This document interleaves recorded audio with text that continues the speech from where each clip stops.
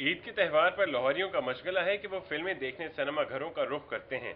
और जब बात हो पाकिस्तानी फ़िल्म की तो फैमिलीज़ जज्बा हुबुल वतनी के तहत फ़िल्म देखने ज़रूर जाती हैं। सिने स्टार में जारी फ़िल्म इश्क खुदा को भी फ़िल्म बीनों ने देखा और अदाकार शान और एहसन की अदाकारी को खूब सराहा।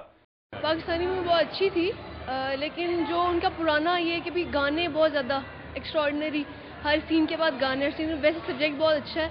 और मतलब आप कह सकते हैं वो अच्छी मूवी है। वेरी नाइस ऐसी फ़िल्में लगानी चाहिए।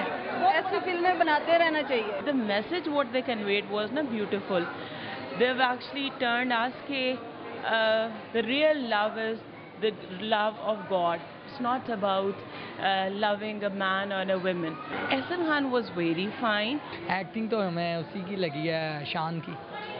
और एहसन खान की भी अच्छी लगी एक्टिंग और एंड का रिएक्शन जो था वो भी बहुत अच्छा था। ये पाकिस्तानी फ़िल्म तो वैसे बॉलीवुड से ज़्यादा मज़े की है। इसमें देखने में इंटरेस्ट भी था हम लोगों का बहुत मज़ा आया देखने में। एक्टिंग मीरा की थी और शान की थी।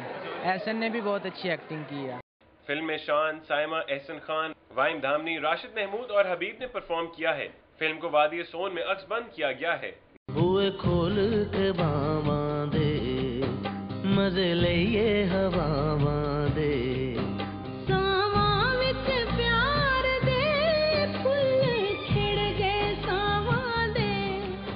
हिदायत का शहजाद रफी की डायरेक्शन में बनने वाली फ़िल्म इश्क खुदा के ज़बरदस्त गानों ने जहाँ फ़िल्म बीनों के कानों में रस घोला। वहीं शायकीन ने फ़िल्म में अक्सबंद किए गए बेहतरीन तफरीही मकाम को भी खूब पसंद किया। कैमरामैन मुबशर हसन के साथ रजा जैदी सिटी 42